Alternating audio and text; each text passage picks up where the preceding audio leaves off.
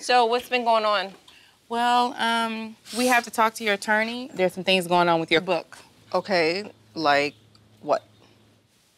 So your book is not coming out at all. What? Evelyn's first book was a, a, huge hit. We won this awesome book tour, and the book was actually left with a cliffhanger. Now, it's been three years. You know, Evelyn took that two year hiatus, so the book was pushed back a little bit and the book is currently written. Everyone is ready for it to come out. We get questions about it every day. However, we have a huge problem on our hands. Do you know how many people, Danika, ask me about this book all the time? I know. It's a point that I don't even yeah. know like what to say.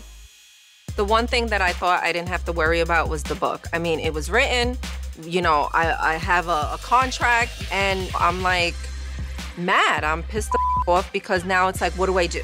Here I am telling people it's gonna come out in the summertime. It's not coming out in the summertime. Like, I feel like it makes me look bad.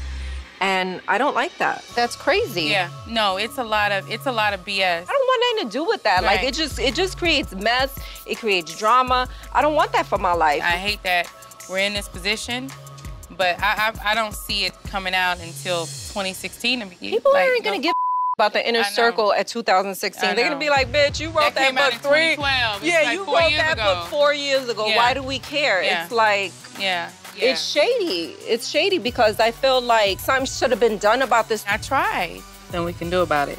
Like I'm really pissed the off. Evelyn! Where are you going?